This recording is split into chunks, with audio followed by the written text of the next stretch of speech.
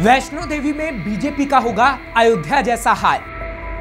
बारीदार समाज बीजेपी से नाराज़, मोदी ने नहीं किया वादा पूरा।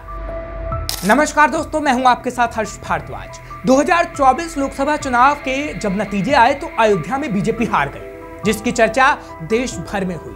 लेकिन अयोध्या जैसा हाल अब वैष्णो देवी विधानसभा सीट पर भी क्या बीजेपी का होने वाला है? ये बात हम इसलिए कह रहे हैं क्योंकि अयोध्या और बद्रीनाथ उपचुनाव में बीजेपी को मिली हार के बाद हिंदू आस्था के केंद्र की सीट पर भी सभी की नज़रें टिकी हुई हैं। क्योंकि श्री माता वैष्णो देवी सीट पर बारीदार समाज की अहम भूमिका होती है और बारीदार समाज का वोट ही यहाँ पर हार जीत तय करता है। लेकिन ये समाज मोदी सरकार से खासा नाराज़ है। यहाँ से बीजेपी को विरोध का सामना भी करना पड़ा। दरअसल, जब बीजेपी ने टिकटों का ऐलान किया तो यहाँ से पहले रोहित दुबे को टिकट दिया गया था। लेकिन बारीदार समाज के विरोध के बाद बीजेपी ने यहाँ से बलदेव राज शर्मा को टिकट दिया। इस सीट पर 25 सितंबर को वोटिंग होगी, जहाँ बीजेपी उम्मीदवार का मुकाबला कांग्रेस के उम्मीदवार भूपेंद्र सिंह से होगा। फ़िलहाल, इस सीट पर आगे क्या होगा? और बारीदार समाज किसे जिताएगा? और ये बीजेपी से क्यों नाराज़ है? वो हम आपको बताएँगे, लेकिन उससे पहले आपको बता देते हैं कि आखिर बारीदार समाज कौन है? कौन है बारीदार समाज? श्री माता वैष्णो देवी विधानसभा सीट पर बारीदार समाज की संख्या सबसे ज़्यादा है। बारीदार समाज श्री माता वैष्णो देवी को अपनी कुल देवी मानता है।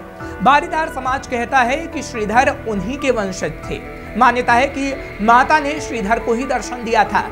श्रीधर को ही माता ने त्रिकूट पर्वत पर बसने की बात बताई थी। तभी से बारीदार समाज माता की सेवा में लगा है। हालाँकि अपने अधिकार के लिए बारीदार समाज आवाज़ उठाता रहा है। उन्नीस सौ छियासी में 30 अगस्त की रात को बारीदारों को गुफा से बाहर कर दिया गया था। सभी अधिकार श्राइन बोर्ड को दे दिए गए थे। बारीदारों की मांग है कि चढ़ावे का एक हिस्सा उन्हें भी दिया जाना चाहिए। साथ ही बारीदारों को श्राइन के अस्पताल और कॉलेज में नौकरी देने की भी मांग की गई।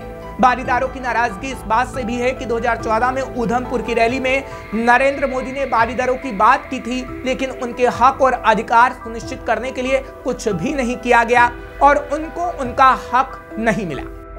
क्या बीजेपी को हराएगा बारीदार समाज? श्री माता वैष्णो देवी सीट पर बारीदार समाज की आबादी पंद्रह हज़ार से ज़्यादा है। बारीदार समाज का भूमांग, कटरा और पंथाल क्षेत्र में अच्छा दबदबा है। बारीदार संघर्ष समिति ने अध्यक्ष श्याम सिंह को निर्दलीय मैदान में उतार दिया है।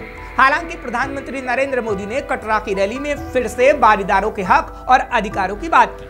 लेकिन क्या बारीदार समाज उस पर विश्वास कर पाएगा? ये बड़ा सवाल है। हालाँकि पीएम मोदी ने विश्वास जताया और अपने संबोधन में कहा कि बारीदार समाज के जो पुराने मुद्दे हैं, उन्हें मैं जानता और समझता हूँ। पीएम ने कहा कि हमारी सरकार ने बारीदार समाज के बच्चों की बारहवीं क्लास तक की पढ़ाई के लिए स्कॉलरशिप शुरू करवाई। समाज के युवाओं को 9 करोड़ रुपए से ज़्यादा की स्कॉलरशिप दी गई। बेटियों की शादी के लिए मदद दी गई। पीएम ने कहा कि समाज के मुद्दों को सुलझाने के लिए ज़रूरी कदम उठाए गए हैं और आगे भी उठाए जाएँगे। फ़िलहाल यहाँ आपको बता दें कि इस सीट से पूर्व मंत्री जुगल किशोर शर्मा निर्दलीय चुनावी मैदान में उतरे हैं। कांग्रेस के उम्मीदवार भूपेंद्र सिंह 2008 के चुनाव में निर्दलीय लड़े थे, लेकिन उन्हें हार का सामना करना पड़ा था। इस क्षेत्र में बीजेपी का दबदबा हमेशा से देखने को मिलता रहा है। लेकिन इस बार अयोध्या जैसा हाल श्री माता वैष्णो देवी सीट पर बीजेपी के लिए हो सकता है। फ़िलहाल अभी कुछ कहा नहीं जा सकता।